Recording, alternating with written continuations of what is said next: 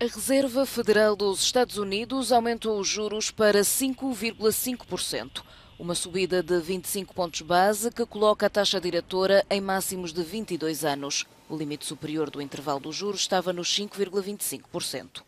O aumento do custo dos empréstimos, anunciado esta quarta-feira pelo Banco Central norte-americano, surge para tentar arrefecer a economia e travar a subida da inflação. A medida surge após uma pequena pausa em junho no aumento dos juros e representa o 11º aumento desde o início de 2022. Restoring price stability is essential to set the stage for achieving maximum employment and stable prices over the longer run.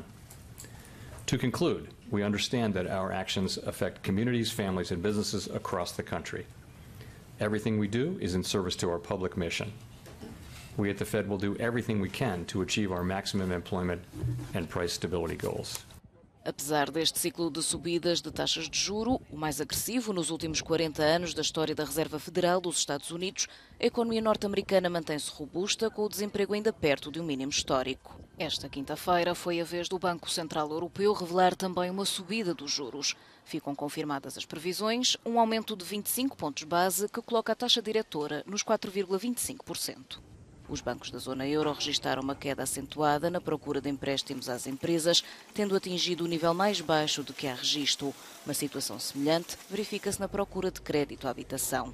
Mas o objetivo de situar a inflação nos 2% após os recentes máximos históricos levou o BCE a anunciar a mais alta subida da taxa de referência desde 2001.